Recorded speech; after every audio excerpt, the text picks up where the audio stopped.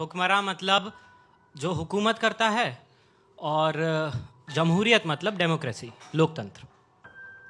कि एक सड़क पे खून है, तारीख कोई जून है, एक उंगली है पड़ी और उस पे जो नाखून है, नाखून पे है एक निशान अब कौन होगा हुक्मरान जब चुन रही थी उंगलियाँ, ये उंगली भी तब थी वहाँ। फिर क्यों पड़ी है खून में? फिर क्यों पड़ी है खून में? जिसम इसका है कहाँ? मर गया, कि था ही ना। कौन थे वो लोग जिनके हाथ में थी लाठियाँ? कोई अफसर था पुलिस का?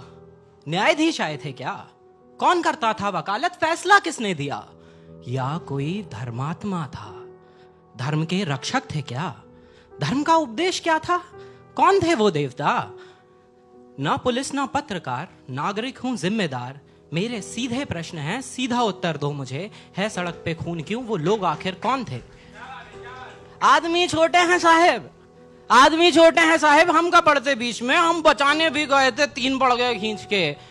मोटरसाइकिल लाए थे, रोड पे कर दी खड़ी, आठ दस लौंडे लपाड़े, लाठियाँ इतनी बड़ी। गाली दे के नाम पूछा, पेट में घुसा दिया, गिर पड़ा वो आदमी, मारा, फिर दे दो नादन लाठियाँ। पाँव की हड्डी मिटा दी, मांस की लुगदी बना दी। खून तो इतना बहा कि हमसे देखा ही नहीं गया। एक उनमें होश में था साहब। एक उनमें होश में था, जाने उसको क्या पड़ी? जेब से चाकू निकाला, उंगली उसकी काट ली। आखिरी था वार जिसका, उनका वो सरदार था। उसने ही सबको बताया जो मरा गद्दार था। हक नहीं इनको हमारे देश के एक वोट पर धीमकों को ना रखो गर जूतियों की नोक पर। सर पे ये चढ़ जाएँगे, ये कई गुना बढ़ जाएँगे। हुक्मरा होगा, इन्हीं का आग मूतेंगे सभी। पैर के नीचे कुचल दो, जीत होगी धर्म की। हम तो खुद डर गए थे साहेब। हम तो खुद डर गए थे साहिब। खौफ उनको था नहीं किस नस्ल के लोग थे वो, कुछ समझ आया नहीं।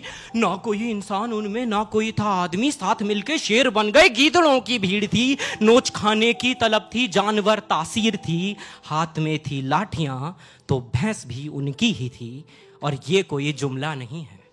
और ये कोई जुमला नहीं है, वास्तविक कानून है। अरे हमसे काहे पूछते हो, क्यों सड़क पे खून है? पूछो इस उंगली से तुम, क्या यहाँ घटना घटी? जुर्म इसने क्या किया था? जिसम से ये क्यों कटी? मैं तो समझा मर चुकी है उंगली में, पर जान थी, स्याही उस नाखून पे जो देश का सम्मान थी।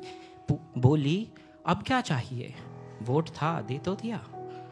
बोली, अब क्या चाहिए? वोट था, दे तो दिया, जी रहे थे, कैद में मौत दे दी, शुक्रिया। ना खून पे जमहूरियत है, जम गया है खून भी, आप ही तो हो अदालत, आप हो कानून भी। अरे आपसे कैसी शिकायत, आप तो हैं नींद में। आप जैसे सौ खड़े थे जाहिलों की भीड़ में। सौ में से अगर एक भी दे दे गवाही आपको, मैं खुशी से मान लूँगा भीड़ के इंसाफ को। सौ में से अगर एक भी दे दे गवाही आपको, मैं खुशी से मान लूँगा भीड़ के इंसाफ को। कीजिए इस पर बहस, अब पैनलों में बैठकर। क्या हुआ मोहन का वादा? है कहाँ अंबेडकर अरे क्या हुआ मोहन का वादा? है कहाँ अंबेडकर सब बराबर हैं, अगर तो बस मुझे ही क्यों चुना? तुम बताओ कौन देगा घर को मेरे रोटियाँ? असलियत से बेखबर हो, शहरी हो, दिल्ली से हो।